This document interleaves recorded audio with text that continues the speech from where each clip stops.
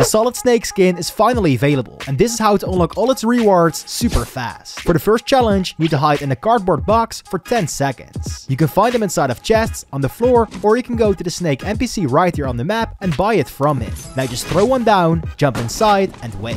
Next up, you need to deal damage to opponents within 10 meters. So get a shotgun, walk up to any guard, and hit your shots. From there, you need to deal damage with explosives. So grab one of these clingers and throw them onto any player or guard you find. Now this next challenge is even easier, as you just need to deal damage with an assault rifle. And for breaking security cameras, you will complete the next quest. Now you need to damage opponents with a weapon that has a suppressor. So just grab any weapon you like, go up to a mod bench, and upgrade your weapon by equipping a suppressor. From there you need to use the EMP stealth camo. You can find this new mythic from the ground, chest, or if you have the bars from the snake NPC himself. For the next challenge, you need to use hiding spots in different matches. So just hide inside a dumpster, a stack of hay, or a cardboard box. Now just open vaults or hack the train heist chest 3 times to complete the next challenge.